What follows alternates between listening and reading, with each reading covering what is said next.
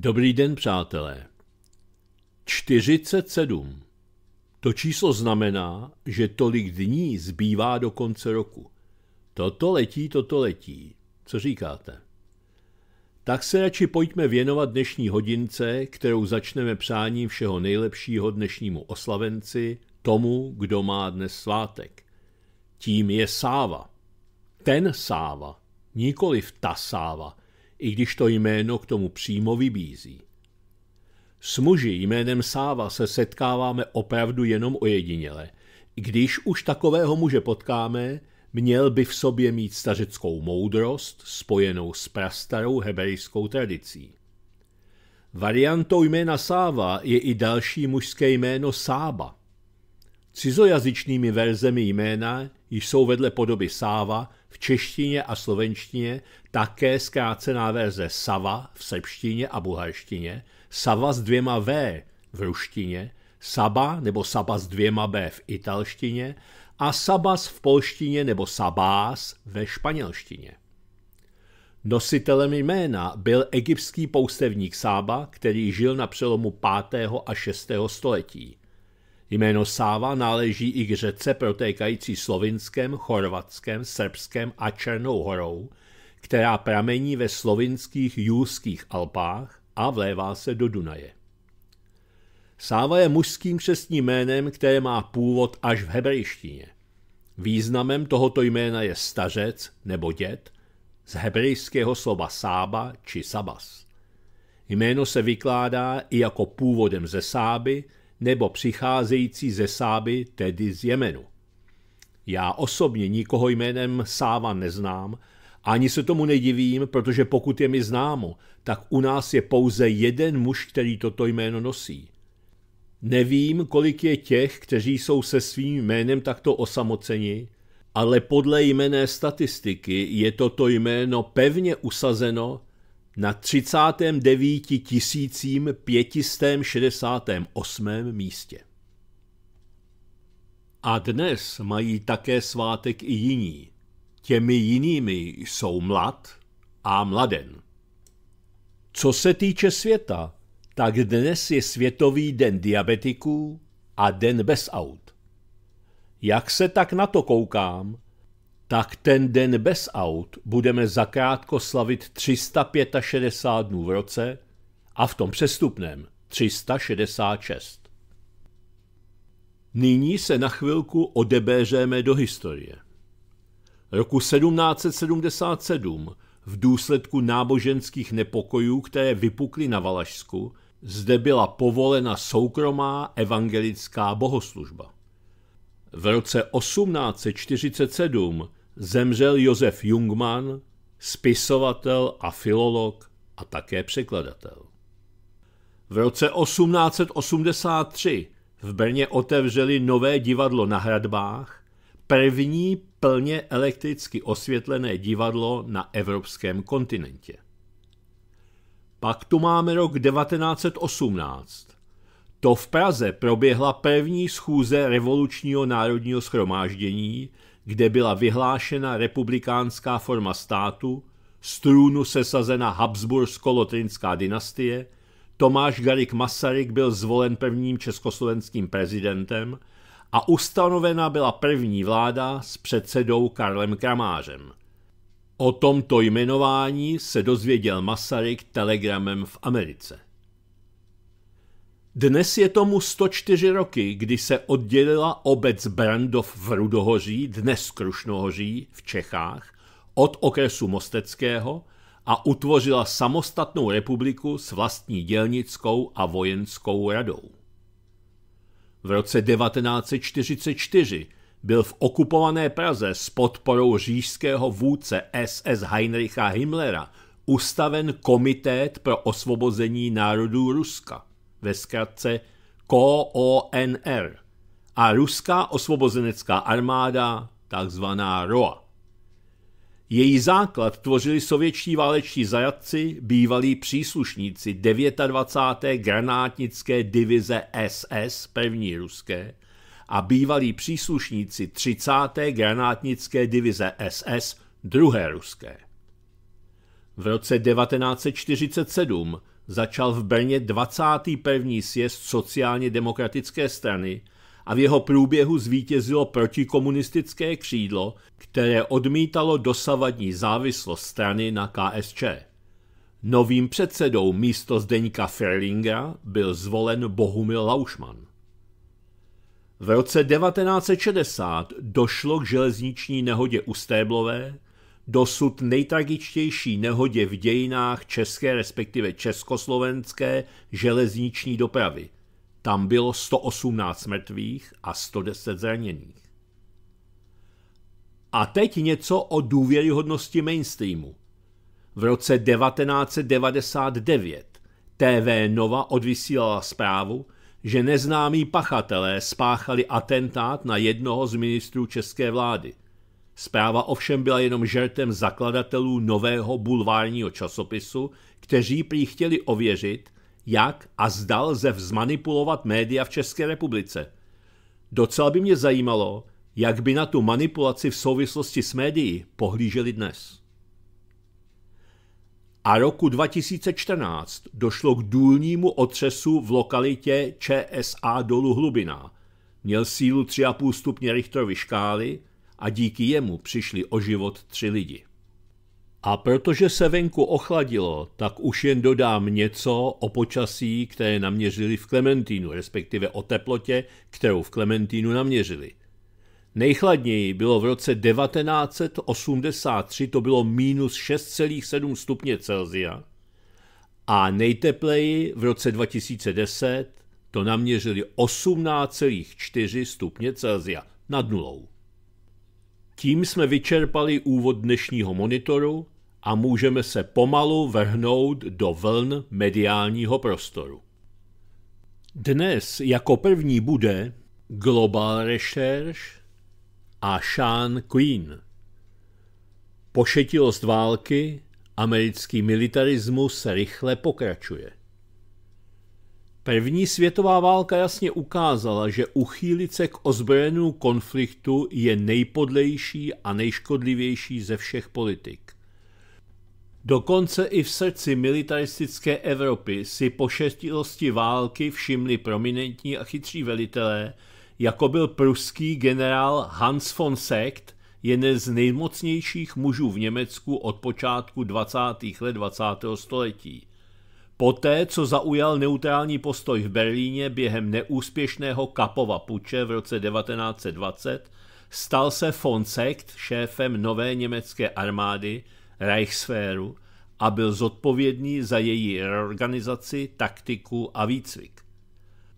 Von Secht zasvětil svůj život vojenským záležitostem a lze předpokládat, že by představoval samotné stělesnění ozbrojeného násilí. Počátkem 30. let však von Secht dospěl k zázoru, že válka, která zdaleka není pokračováním politiky, se stala spíše bankrotem politiky. Když se ohlédl zpět, vyvodil některé zřejmé závěry z krveprolití první světové války, kdy byl náčelníkem štábu polního maršála Augusta von Meckensteina. Von Sektovo znepokojení nebylo ani tak etické, ale jednoduše proto, že cítil, že válka již není inteligentním způsobem, jak vést politiku národa.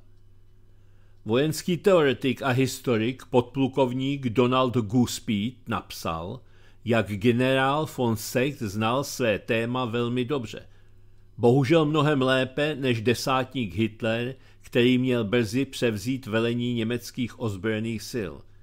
Ještě před vynálezem jaderných a termonukleárních zbraní se válka stala příliš nebezpečnou a nejistou na to, aby se do ní zodpovědní muži dobrovolně pustili. Pokud měla být v národních a mezinárodních záležitostech stále použita síla, lidem jako generál von Secht bylo zřejmé, že by to muselo být v nějaké jiné formě než v konvenční válce. Von Secht byl dříve ve svých obavách o válce podporován Vladimírem Leninem, dalším bystrým pozorovatelem a jako von Secht sotva jemným dotykem.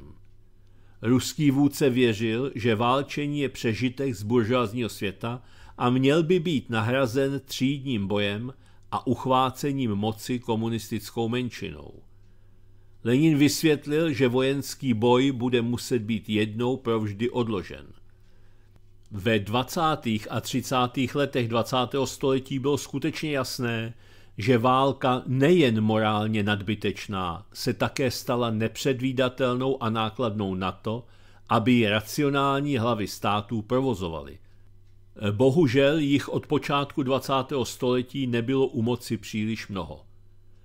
Generaci po Leninovi a von Sektovi vyjádřili Albert Einstein a Bernard Russell vážné obavy ohledně války. Tyto vážené osobnosti se se svými předtuchami v roce 1955, deset let od nukleárního věku, trochu opozdili, když prohlásili, máme skoncovat s lidskou rasou, nebo se lidstvo zřekne války. Nicméně jejich obavy zůstávají zcela relevantní, realita konfliktu byla ignorována, nejčastěji ze všech nezodpovědných vůdců západních mocností, především Ameriky, národa, který vedl nejvíce válek v živé paměti. Od počátku 50. let byl Washington centrálně zapojen do korejské války, jejímž prostřednictvím jeho letectvo srovnalo se zemí velké části Koreje a také zničilo přehrady. Následně po něm přišla invaze do Větnamu, iniciovaná prezidentem Johnem Fitzgeraldem Kennedym, poté eskalovaná od poloviny 60. let do Laosu a Kambodže jeho nástupci Lyndnem Johnsonem a Richardem Nixonem. Jen během posledních tří desetiletí Spojené státy dvakrát napadly další země, jako je Panama, Irák, bývalá Jugoslávie a Afghánistán. Od zániku sovětského bloku se velká část pozornosti Washingtonu soustředila na Blízký východ, což nemusí být překvapivé, vezmeme-li v úvahu, že tento region má téměř 50% známých světových zdrojů ropy. Americká strategie vojenských prostředků na Blízkém východě je sebezničující, nákladná především pro místní obyvatele a přispěla k úpadku Ameriky jako světové velmoci. Na druhé straně Čína, především díky své nesmírně ambiciozní iniciativě BRI, postupovala ve svých zahraničních podnicích z velké části s náležitou péčí a prostřednictvím nevojenských akcí, jak se Peking pokouší předběhnout moc USA na Blízkém východě a v okolních zemích. Čínská politika pásu a stezky je zaměřena spíše na finanční investice, dialog a vzájemné porozumění než na zastrašování zbraněmi. Čína je tak největším investorem na Blízkém východě a její obchod tam meziročně roste. Existují náznaky, že vliv Pekingu na Blízkém východě a v Perském zálivu bude v nadcházející době neustále narůstat, což bude mít významné důsledky pro Washington. Lídři Blízkého východu, unavení válkou, terorismem a nálety amerických dronů, reagovali na finanční plány Pekingu s otevřenou náručí. Blízký východ již představuje více než 40% čínského dovozu ropy. Paul Wolfowitz, náměstek ministra obrany USA v červnu 2000 řekl, že Irák pluje na moři ropy. Na rozdíl od Severní Koreje, jak zúraznil. Přesto při útoku na Irák, podkopaný desetiletími západních sankcí, Bushova administrativa a její šéfové ropného průmyslu skončili bez ničeho. Horší mělo být a přijít, když okupace posunula Irák blíže jeho sousedovi Iránu a největším obchodním partnerem Iráku dnes není nikdo jiný než Irán. Irák a Irán dohromady vlastní 20% zásob ropy na planetě, takže rozsah amerického úpadku na Blízkém východě je zjevný. Po fiasku v Iráku obrátil Washington velkou část svého pohledu na svého hlavního nepřítele Čínu. Ačkoliv pokus o vojenské obklíčení Číny uzákonil Barack Obama, úroveň výdajů USA na zbrojení již mnohem větší než kterákoliv jiná země za Donalda Trumpa vzrostla, jak se americko-čínské vztahy zhoršují. V únoru 2020 americký prezident řekl, že investovali jsme rekordních 2,2 bilionů dolarů do armády Spojených států, včetně nákupu nejlepších letadel, raket, lodí a všech dalších forem vojenského vybavení. Závislost Washingtonu na síle zbraní je dvousečná zbraň, jak by jistě poznali zkušení generálové jako Fonsect. Americká armáda je kolos s hliněnýma nohama, což se ukázalo neschopností ohnout Irák podle své vůle nebo Afghánistán. Hrozba silou opět zahrnuje hrozivá nebezpečí nejen pro Čínu, ale i pro Spojené státy. Obě jsou jadernými velmocemi a jakákoliv válka, která přeroste v jadernou, je nemyslitelná. V posledních týdnech těžce ozbrojené americké torpédoborce postupují na sever blíže k Pekingu podél východočínského moře a Žlutého moře, v krátké vzdálenosti také od Šanghaje, největšího čínského přístavu a nejlidnatějšího města. V polovině dubna 2020 byl ve Žlutém moři spatřen americký torpédoborec s řízenými střelami USS McCampbell – který méně než 80 mil od pobřežního města Weihai v provincii Shandong a méně než 800 mil od Pekingu z 20 miliony obyvatel. Před dvěma měsíci byl časně ráno spatřen další americký torpédoborec USS Rafael Peralta, jak postupuje do vzdálenosti 135 mil od Šanghaje. Ve větší frekvenci od roku 2018 americké torpédoborce také proplouvaly tajvanským průlivem u jihovýchodního pobřeží Číny. Vojenský analytik z Hou Ming, sídlící v Pekingu, zmatený myšlenkami, které stojí za těmito akcemi, se zeptal Američanů. Zhromažďují zpravodajské informace, aby v budoucnu zničili rozvinuté oblasti Číny podél východního pobřeží? Ukazují svou podporu tajvanským separatistickým silám nebo se připravují na válku s Čínou. Ani tyto události nebyly omezeny na námořní cvičení. Od začátku letošního roku se uskutečnily desítky letů amerických válečných letadel nad Jihočínským mořem, Východočínským mořem, Žlutým mořem a Tajvanským průlivem. Americké vojenské hlídky obkročmo u čínských břehů mohou být reakcí na rostoucí asertivitu Pekingu, například v Jihočínském moři, která změnila svůj status z kanálů kontrolovaných USA na jasně sporné vody. Roční vojenské výdaje Pekingu vzrostly z téměř 40 miliard dolarů v roce 1999 na 266 miliard dolarů do roku 2019, což je téměř sedminásobný nárůst. Posledně jmenované číslo je stále jen zlomkem zbrojních výdajů USA. Washingtonská strategie obklíčení Číny má značná omezení. Mapa Asie ukazuje, že Čína je celkově daleko od obklíčení. Na sever leží Rusko, největší země světa, Čína je největším obchodním partnerem Kremlu a investice mezi těmito sousedy neustále rostou. Čínsko-ruský dvoustranný obchod vzrostl z 69 miliard v roce 2016 na 110 miliard dolarů do roku 2019 a jejich lídři Xi Jinping a Vladimír Putin mají podle všeho vřelý vztah.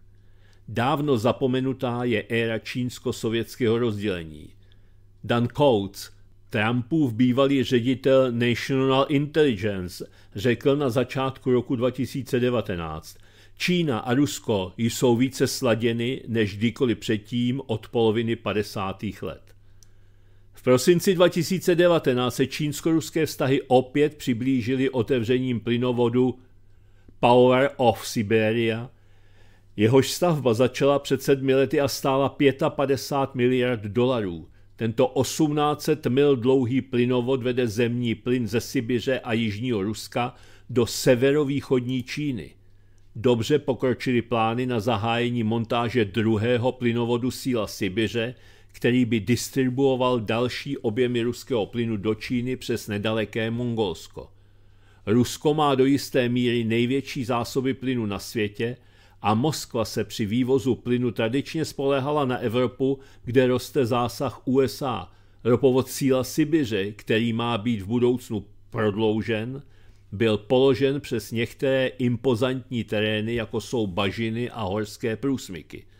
Tento technický výkon může Peking povzbudit k překonání jeho vlastní náročné logistiky, týkající se navrhovaného ropovodu Kashgar-Gwadar mezi Čínou a Pakistánem.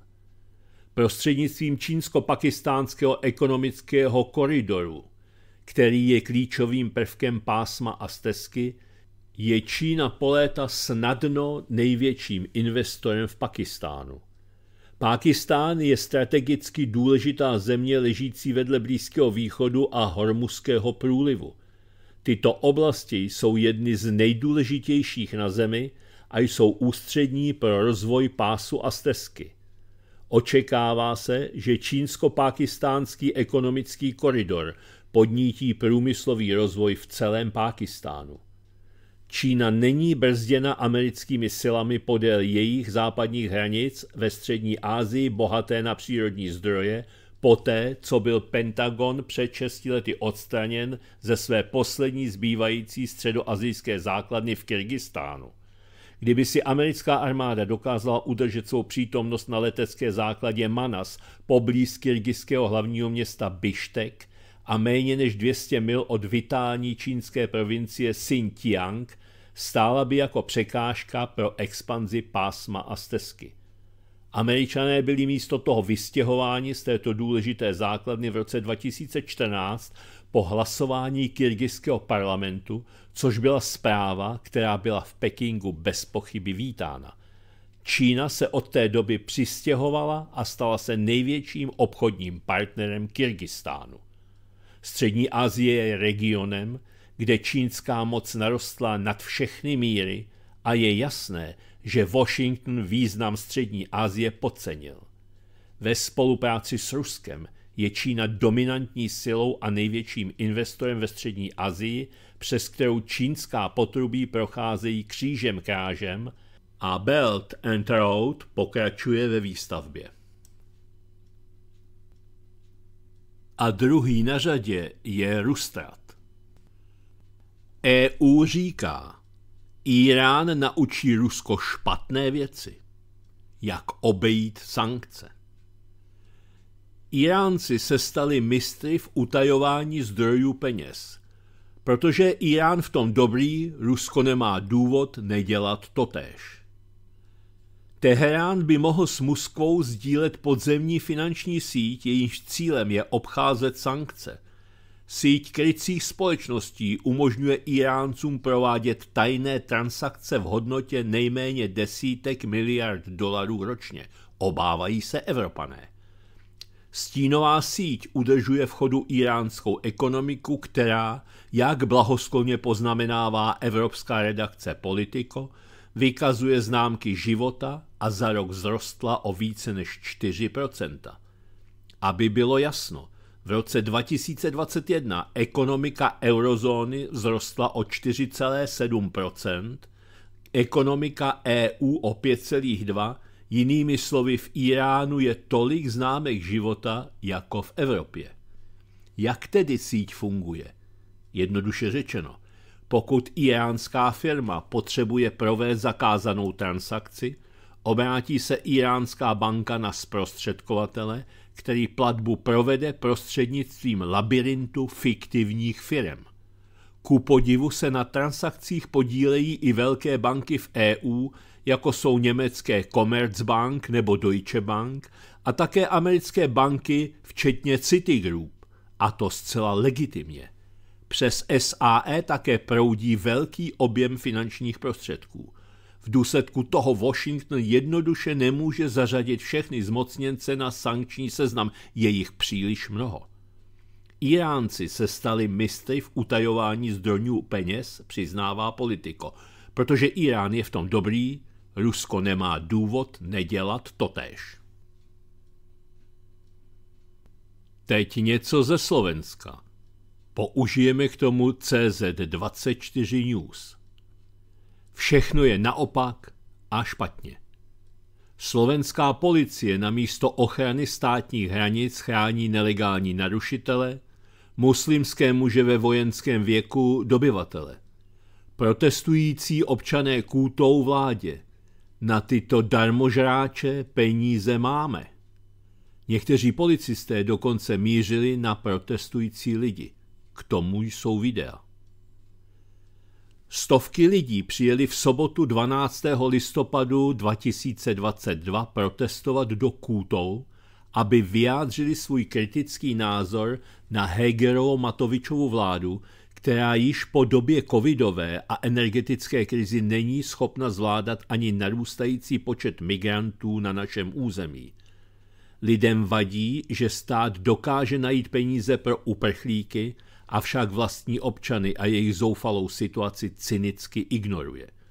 Korporátní a veřejnoprávní média už tradičně slovenskou veřejnost o protestu neinformovala. Sobotní protest proti nelegální migraci v Kůtech se neobešel bez potičky, kterou vyprovokoval progresivní aktivista. Stovky lidí přišli protestovat a vyjádřit svůj kritický názor na vládu. Lidem vadí, že vláda umí najít peníze pro cizince a zapomíná na Slováky. Neoliberální aktivista přišel na protest a během klidné demonstrace začal křičet na šéfa LSNS Mariana Kotlebu, že je nácek a když tato slova opakoval, někteří lidé z davu ho chtěli vyhnat.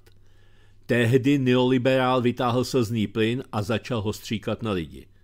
Těžko oděnci si stáhli neoliberála za sebe a chránili ho před lidmi. Policisté mířili na lidi zbraní, která střílí plastové náboje s barvivem. Tyto pistole znají lidé z protestů a umí zanechat z místa silná zranění. Jeden z protestujících křičel na policisty, aby stříleli.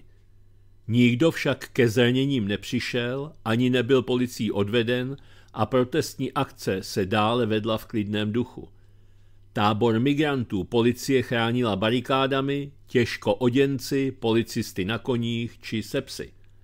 Domácí se bojí chodit večer ven i pouštět své malé děti hrát si na ulici. Nevědí, co mohou od migrantů čekat. Důchodkyně s kůtou si stěžuje na migranty, že mají vodu, jídlo i teplo zdarma a ona má stále méně a méně z důchodu. Tvrdí, že kdyby ona za socialismu překročila hranice, zastřelili by jí a dnes si zde chodí migranti, jako by se nic nedělo. Další domácí zůstala šokována, že migranty dokáží chránit těžko oděnci, ale hranice takto nechrání. Celou akci přišel podpořit i šéf LSNS Marian Kotleba, který se pustil do ministra Mikulce, ale i prezidenta policie Hamrana. Kotleba se ptá, jak je možné, že na Slovensku musíme v různých sbírkách sbírat peníze pro děti na operace, ale když je třeba, stát umí hned dát peníze pro migranty. Kotleba však neházel vinu na konkrétní policisty, kteří byli na místě. Policie ne. Policie by je vybavila za dvě minuty, ale Mikulec, Hamran, tohle jsou vidí viníci. Tady nejde o konkrétní policisty, tady jde o to, že najednou stát umí najít peníze na to, aby zde chránil nějaké imigranty, kteří pro Slovensko neudělali nic, nedali zde euro odvodů, prostě neudělali nic, jsou zde jednoduše importováni, jako když si whisky dovezete z Anglie nebo z Kádě a na to jsou peníze, ale když naše slovenské děcko potřebuje operaci, tak mu řeknou, sbírejte mu plastová víčka, říkal Kotleba rozlobenému davu. Když nějaký člověk potřebuje léky na rakovinu, tak mu řeknou, vydržte ještě 10 měsíců, pak vám to schválíme. A prostě tehdy ty peníze nejsou. Ale tady se najdou 100 tisíce miliony, 10 miliony jen proto, že to Unie od nás žádá a že zmrdí jako Mikulec, Hamran, Matovič a samozřejmě Čaputová. Všichni tito zráci tak prostě jsou v tom namočení po uši a oni se bojí jen jediné věci, že se národ konečně zbudí, prohlásil šéf LSNS Marian Kotleba. A my jsme tu dnes k tomu, abychom prostě vzbudili tu vládu, abychom vzbudili ty zrádce, všechny a řekli jim, že lidé už toho mají dost. A že prostě ať tu péči, co teď ukazují, že umí dát pro ně, tedy pro migranty, ať dávají za prvé pro naše lidi a za druhé, ať začnou konečně chránit ty hranice, skázal Kotleba. Šéf LSNS Marian Kotleba ohlásil na protestní akci, že se chystá občanská domobrana na ochranu hranic. No a nyní se podíváme na to, co naši dobrodějové nám připravili prostřednictvím Bruselu. CZ24 News Brusel Luciferův plán schválen. Novými poplatky Lulu CF budou byti hlavně Češi a Slováci. Plyn a elektřina jsou v Evropě drahé, protože z nich Brusel vybírá tzv. poplatky CO2. S těmi potom kšeftují tzv. energošmejdi, aby na nich vydělali miliardy a plyn i elektřinu lidem řádně zdražili. Ve čtvrtek 11. listopadu se vlády zemí EU, Fiala i Heger, dohodli, že poplatky CO2 se nyní budou vybírat i ze dřeva a z potravin. A že se z poplatky za dřevo i jídlo bude kšeftovat na burze úplně stejně, jako se už kšeftuje z poplatky za elektřinu a plyn. Česko i Slovensko, které se dobře starali o své lesy, budou podle nařízení LULUCF zatíženy dodatečnými poplatky, zatímco země, které si své lesy v minulosti vykácely, typicky Holandsko, Irsko a Dánsko, získali povolenky zadarmo, aby je mohli prodávat. Dohodu o takzvaném Luciferově plánu v Bruselu vychvaloval hlavně český ministr životního prostředí Marian Jurečka z KDU ČSL a Brusel ho za to odměnil čestnou fotografií a citací v tiskové zprávě o schválení nařízení LULUCF. Podle nařízení LULUCF musí Česko odstranit 1,228 milionů tun CO2 které vyprodukují čeští lesníci a zemědělci při péči o lesy a o půdu. Slovensko musí dokonce odstranit 6,821 milionů tun CO2, asi proto, že má větší lesy než Česko.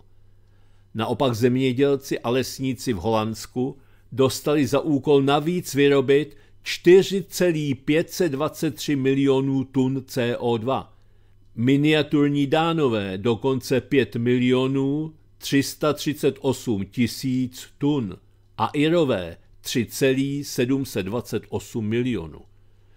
Podle nařízení LULU CF budou tzv. odebírací poplatky volně obchodovatelné. Typicky holanděné, kteří dostali 4,523 milionů tun odebíracích poplatků CO2 zadarmo, je budou moci prodat Slovákům, kteří buď musí přestat těžit dřevo a obhospodařovat půdu, aby ušetřili 6,821 milionů tun CO2, nebo si budou muset od nových lesošmejdů a zeměšmejdů potřebné povolenky na burze za takzvanou tržní cenu od Holandianů nakoupit. Z neštěstí pro Čechy a Slováky, kterým zdraží domácí dřevo i potraviny, se krom fialového lidojeda Jurečky radoval hlavně šílený bruselský komisař Franz Timmermans, nějakou náhodou Holandian.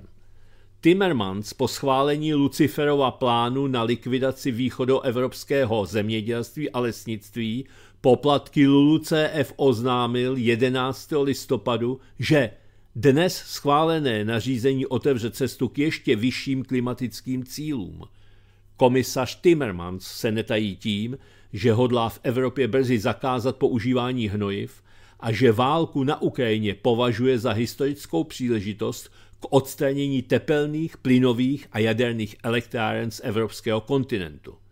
Také je znám tím, že bruselské dotace přiděluje jen západním zemím. Třeba v tomto jeho dotačním souboru nezískal Česko, Slovensko ani Maďarsko ani korunu dotací. Za to koncern ArcelorMittal dostal štědré dotace na pokračování výroby ocely z těch nejstarších a nejneekologičtějších ocelárnách ve Francii a Itálii.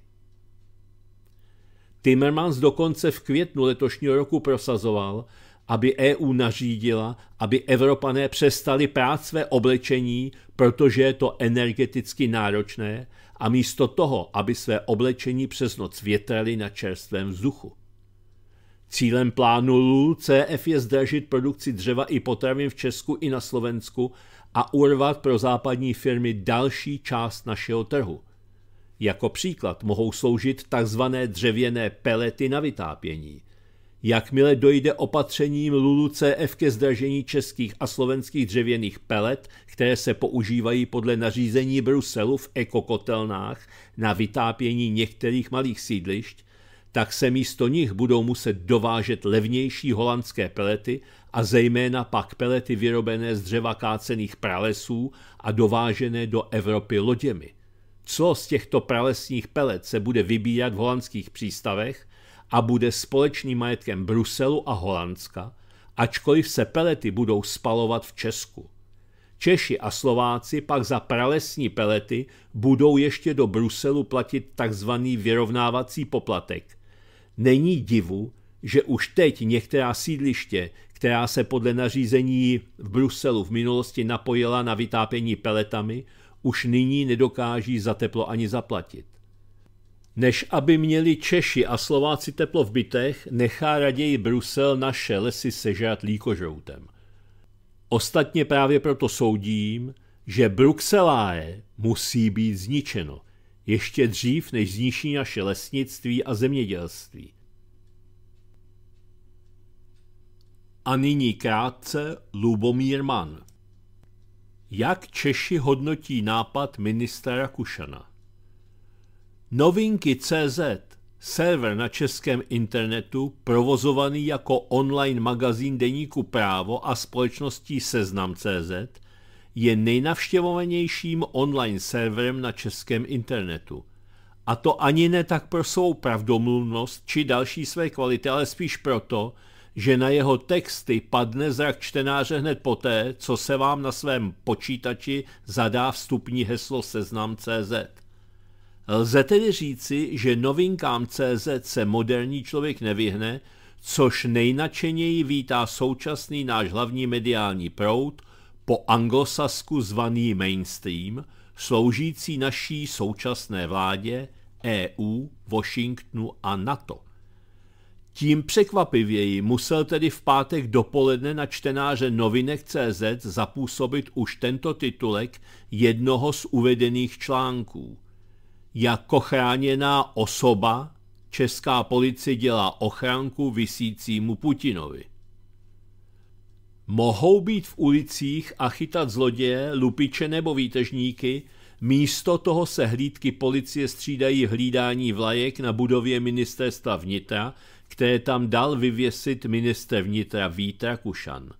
Policisté výzdobu hlídají ve dne v noci už 14 dní, píše autor článku a dodává, u příležitosti svátku 28. října nechal minister vnitra rozvěsit na budovu ukrajinskou a českou vlajku a mezi ně obraz ruského prezidenta Vladimíra Putina uzavřeného černém plastovém pytli používaném k převozu ostatků. Výroba vlajky stála 50 tisíc korun a podle ministerstva bylo umístění konzultováno s bezpečnostními složkami. Instalaci však odsoudili někteří politici nejen z opozice, ale také z vládních stran. Minister vnitra Rakušan v jednom ze svých vystoupení na české televizi přiznal, že nápad s vlajkami a Putinem vyšel z jeho vlastní hlavy, takže jak ten nápad, tak tu hlavu měli občané České republiky možnost hodnotit v anketě, kterou k problému novinky CZ zorganizovali. Anketa. Je správné, že na ministerstvu vnitra visí plakát s Putinem v pytli a střeží ho hlídka policie? Ano, 12,9%. Plakát s Putinem mi nevadí, jeho hlídání ale ano, 10,2%. Vadí mi, že tam plakát s Putinem visí 76,9%. Celkem hlasovalo 21 800 čtenářů a diskuzních příspěvků, které byly nejspíš vesměs natolik peprné, že nebyla odvaha je zveřejnit, se sešlo 1444. Nicméně to hlavní anketa vyškla. Téměř 80% našich lidí má za to, že nápady ministra Rakušana jsou opravdu něco. Zase po dlouhé době jsem si otevřel New York Post. Zase jsem si potvrdil, že pohrobci rudého práva vesele fungují, ovšem tentokrát na druhé straně země koule, takže jsem došel k závěru, že nejlepší článek včerejška tamo otištěný je ten s titulkem Studie Krysy mají rytmus jako lidé a mají rádi hudbu jako Lady Gaga a Queen. Tam si můžete přečíst, že i krysy dokážou udržet rytmus. Vědci zjistili, že krysy jsou schopny vnímat rytmus hudby a kývat hlavami podle rytmu, což je atribut, o kterém se dříve myslelo, že existuje pouze u lidí. Podle studie zveřejněné v pátek v časopise Science Adventures vědci z Tokijské univerzity přehrávali hudbu deseti krysám vybaveným bezdrátovými akcelerometry k měření pohybu hlavy. Hudba zahrnovala Lady Gaga, Queens, Mozartovu sonátu pro dva klavíry D-dur, Michaela Jacksona a tak dále. Minutu dlouhé úseky písní byly hrány čtyřmi různými rychlostmi pro 10 krys a 20 lidských účastníků. Studie zjistila, že jak potkani, tak lidé měli nejlepší synchronizaci tepů v rozsahu 120 až 140 tepů za minutu. Vědci v experimentu doufali, že zjistí, zda by malá zvířata, jako jsou krysy, dávali přednost rychlejšímu rytmu před lidmi, protože si mysleli, že to bude korelovat s fyzickými faktory, jako je srdeční tep a velikost těla. Studie však zjistila, že krysy preferovali údery blízké 120 úderům za minutu, podobně jako lidé. Potkani vykazovali vrozenou, tedy bez jakéhokoliv tréninku nebo předchozího vystavení hudbě, synchronizaci rytmu nejzřetelněji v rozmezí 120 a 140 tepů za minutu, přičemž lidé také vykazují nejasnější synchronizaci rytmu. Docent Hirokazu Takahashi z Univerzity Tokio uvedl v tiskové zprávě – Tým také zjistil, že jak krysy, tak lidé pohybovali tělem do rytmu v podobném rytmu a že míra škubání hlavou se snižovala, jak se hudba zrychlovala. Podle našich nejlepších znalostí je to první zpráva o vrozené synchronizaci rytmu u zvířat, které nebylo dosaženo tréninkem nebo hudebním vystavením, řekl Takahashi. Výzkumníci v rámci projektu uvedli, že jejich objev je vhled do samotné tvorby hudby. Dále bych rád odhalil, jak souvisí další hudební vlastnosti, jako je melodie a harmonie s dynamikou mozku. Zajímá mě také, jak a proč a jaké mechanismy mozku vytvářejí lidská kulturní pole, jako je výtvarné umění, hudba, věda, technologie a náboženství, řekl Takahashi. Věřím, že tato otázka je klíčem k pochopení toho, jak mozek funguje a k rozvoji umělé inteligence nové generace.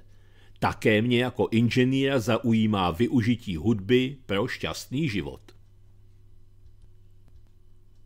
Zase jsem si potvrdil, jak nesmírně důležité je dávat peníze na takové výzkumy.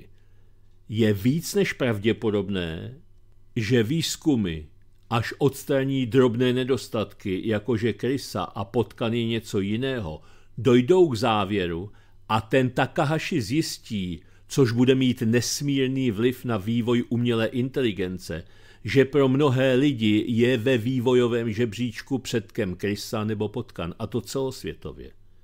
Jen u nás by to neplatilo. Tady by krysu musel nahradit prasetem, respektive sviní. Nyní k nám přichází i nadhled live. Co nám ukázaly americké volby? Výsledky amerických voleb do obou komor dopadly velmi těsně a lze je i přes určité rozpaky vnímat jako vítězství republikánů představovaných především bývalým prezidentem Donaldem Trumpem. Díky tomuto výsledku to všeobecně bude mít exekutiva vedená obrazně nikoli fakticky Joe Bidenem podstatně složitější při prosazování politiky demokratů. To podstatně berte s rezervou, protože jak známo, sváry vedené navenek často končí uvnitř budov, v nichž politici zasedají. Průběh samotných voleb měl opět plno zvláštností. Docházelo k výpadkům techniky, opět se objevovaly falešné či dvojité hlasy, při sčítání se nevyhnuli podivnostem. Upřímně řečeno, vítězství republikánů se čekalo mnohem razantnější a při tomto výhledu se vycházelo z všeobecného poklesu oblivy Bidena a dalších čelních představitelů demokratů. Úroveň života v USA má klesající úroveň, i tam se zdražuje, což platí taktéž pro pohonné hmoty. Se svobodou slova je to podobné jako u nás. Stát je zadlužený, a ulice i kdysi luxusní čtvrtí se zaplňují bezdomovci. Přidejme již dlouhodobý vliv ekoteroristů či hnutích podobných BLM a genderových úchyláků, který otravuje život běžným Američanům, covidový dvouletý teror a nesmyslné vyzbrojování Ukrajiny stojící USA plno peněz a důvodů k pokračování v dosavadních trendů moc nenajdeme – i proto se dal očekávat mohutný nástup republikánů. Proč nepřišel? Podobně jako u nás je většina amerických médií v rukách pro demokratických liberálů, takže svou ideologii tlačí do lidí v neuvěřitelné míře. Dopady toho jsou shodné s těmi u nás a plno obyvatel USA zůstává nadále přesvědčených, že to, co říkají v televizi, je pravda a v pořádku. Lidé opouštějící Kalifornii z důvodu levicové politiky vysokých daní a omezování názorové svobody přešli často do Texasu, aby i tam začali volit levicově smýšlející demokraty. To svědčí o jisté demenci voličů, která prostupuje napříč celou americkou veřejností. Přesto demokraty mnoho lidí opustilo, takže museli nastoupit jiné praktiky. Mezi ně patří i ovlivňování samotného hlasování a sčítání. Je s podivem, že republikáni nedokážou dopředu tyto věci ohlídat, zvláště když na tu svou neschopnost už nejednou doplatili a naposledy to odnesl Donald Trump při posledních prezidentských volbách. Pokus o proslulou Bidenovu křivku, tedy situaci, kdy v posledních hodinách sčítání došlo k naprostému převratu v dosavadních výsledcích, jsme zaznamenali i tentokrát. Pokud vím, že se toto děje, dopředu udělám vše proto, abych změnil systém hlasování a zapojil bych například armádu, protože jinak riskuji zbytečně úplně vše. Jen mluvit o tom nestačí. Republikáni mají nyní výhodu zešlou z těsného vítězství a dva roky k dobru, nech tedy vymění hlasovací automaty, zruší možnost korespondenční volby a připraví pro prezidentské kandidáty rovnocené podmínky. Více k americkým volbám není zatím co říct, protože dopady výsledků budou ještě nějakou dobu nejasné. Doufat, že se nás to brzy dotkne, je naivní představa – Díky naší vládě budeme nadále dotovat kohokoliv. Ostatně hospodářské výsledky Česu a obří zisk rozdělení formou vyplácených dividend mezi akcionáře opět ukazuje, k čemu se naše vláda uchýlila. Stát zhrábne většinu, ale dost zbude i na minoritní akcionáře, z nichž většina sídlí v USA. Pokud by si někdo myslel, že Čes se už nakrmil, mílí se – Opět na nás připravuje další zdražení, pomocí kterého z nás získá dostatek peněz pro své akcionáře, dostane se i na odměny pro manažery. Stát, respektive vláda, tyto peníze utratí, aniž by zkusila vykoupit zpět podíly v Česu a mohla tak regulovat ceny elektřiny nikoli v zájmu minoritních akcionářů, ale přístupné občanům této země. A takto Fiala přistupuje ke všemu podstatě ho nezajímáme. Momentálně se rozeběhla kauza s jeho údajným bratrancem fungujícím na Ukrajině. Pokud se skutečně ukáže, že jde o rodinu, jsou sanace škod vyplácené Kijevu dalším možným únikem peněz, směřujícím k obohacení svému i příbuzných. Ostatně není to poprvé, barmské dobrodružství v podobě státních dotací na výzkum tamních problémů bylo solidním předskokanem ukrajinské anabázy. Vždyť už to tluče do očí. Neúprosně se blíží konec dnešního monitoru, takže poslední příspěvek je od Michala Svatoše. Politik králem, Čech kmánem. Fiala zvyšuje platy českým politikům nad úroveň západní EU. Před dvěma měsíci se belgický minister zahraničí Mathieu Michel v televizi prořekl, jak vysoký má plat a belgičané se rozuřili a belgická média spustila kampaň proti politickým elitám odtrženým od reality života obyčejných belgičanů, kteří zápasí s rostoucí drahotou. Za pár dní belgický premiér de Croo oznámil, že snižuje politikům platy o 10%, ale pochvaly se nedočkal, protože v obdobné skandální situaci snížila francouzská vláda platy politikům rovnou o 30% a italská vláda platy politiků rázně omezila. V Česku i na Slovensku se nic podobného stát nemůže. Čeští ministři berou větší platy než někteří jejich kolegové ministři v západní Evropě, kde přitom lidé mají vyšší platy. Například plat španělského ministra je 159 tisíc korun a plat Španěla 43 775. Český minister přitom bere od Fialy 196 300 korun a Čech je necelých 32 tisíc korun. Platy obyčejných lidí jsou v naší analýze vždy takzvané mediální platy, tedy platy, které bere aspoň polovina lidí v daném státě. Na platy politiků v Evropě jsme se dnes zevrubně podívali a zůstali jsme zírat. Fialoví politici jsou v čele evropského žebříčku nejvíce odtržených politiků od reality, ale premiérovi Fialovi to nevadí. A protože sám zažil život za podprůměrný plat vysokoškolského profesora, tak doporučil obyčejným lidem, aby se nestyděli chodit si pro sociální dávky. Kamarádíčkům nadělí nejotrženější platy od reality v Evropě a nezachová se jako ti politici, kteří už pochopili, že se snižováním vládních výdajů musí začít sami u sebe – na rozdíl od belgického předsedy vlády, který se nebál a platy politikům snížil, se Fiala vymluvil, že by stanovení výše platů politiků raději nechal na expertech, kteří se problematikou platů dlouhodobě zabývají. Jak vidíte, Petr Fiala se nebojí rozhazovat peníze za válku na Ukrajině, radit lidem, aby chodili na úřad pro sociální dávky ale bojí se šetřit na platech politiků, aby ho partajní kamarádíčkové nevyhodili za to, že jim sníží platy. Platy politiků by měly odpovídat platům občanům a ty být takové, aby kdo pracuje nemusel žebrat o sociální dávky. Zde je přehled platů ministrů v Evropě seřazený od těch nejnenažarnějších k těm nejodpovědnějším. Česko – Minister bere 612% českého platu. Plat ministra je 196 tisíc korun. Plat je 32 tisíce korun. Švýcarsko. Minister bere 571 švýcarského platu. Plat ministra je 38 071 švýcarských franků a plat je 6 665 franků. Rakousko Minister, minister má plat 488% rakouského platu.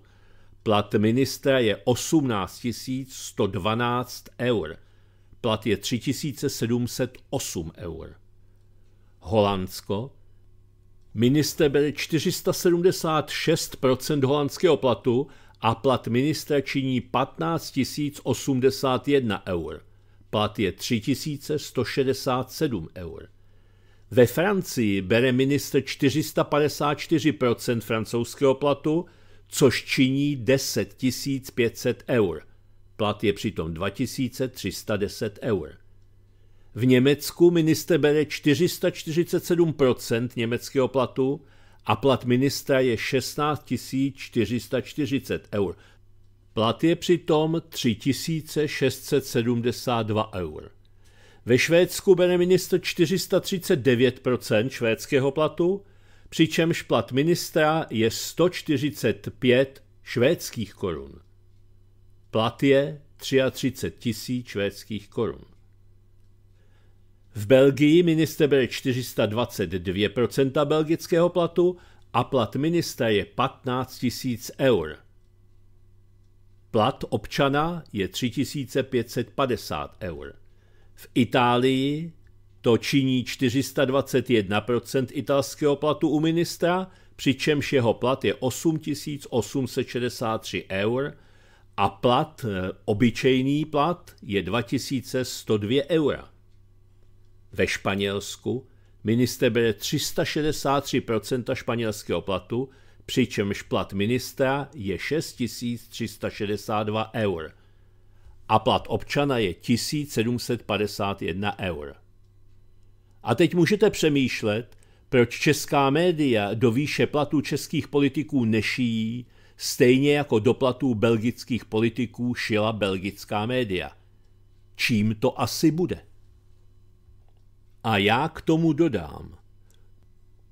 Podle České národní banky je střed kurzu eura vůči koruně 24 korun 30 haléřů plus minus. K pátku. Podle mediánu je český plat 1317 eur. To znamená, že ti fialoví ministři jsou vlastně chudáci proti ministrům ve zde jmenovaných zemích, protože jejich plat v přepočtu na eura je pouho pouhých 8072 euro. A protože Fiala je nejlepší premiér na světě, o Evropě ani nemluvím, tak jsou na tom zcela jistě obdobně i jeho ministři. A proto si myslím, že by jim měl být plat zvýšen alespoň na úroveň platu minimálně jeho kolegy z Rakouska, což je soused, to je v přepočtu na 439 460 korun. O tom švýcarském ani nemluvím. To už by bylo opravdu nenažranství, neb tam přepočet ze švýcarských franků činí 938 983 korun. I když si myslím, že takový financ minister Stanjura, ministrně války Černochová a válek se Síkelou by si za svou píli zasloužili jistě i víc. Otázkou je, jestli ne Ratanovou Rákoskou. Když už máme ty světové ceny energií, tak i naši odpovědní politici by měli mít odpovídající platy. Občané se proto zcela jistě a rádi uskromní i tím, že si i ty dva svetry budou půjčovat, pardon, sdílet. Letmým pohledem na hodiny zjistíte, že jsme dnes na konci. Nedá se nic dělat, ale čas vyhrazený monitoru jsme vyčerpali a tudíž budeme muset uvolnit vlny dalšímu studiu. Na řadě je klasická věta na závěr. Od mikrofonu studia Kalich Svobodného rádia se s vámi do zítřka loučí, ovšem dáli Bůh a cenzor, Ivan Votava. Naschledanou.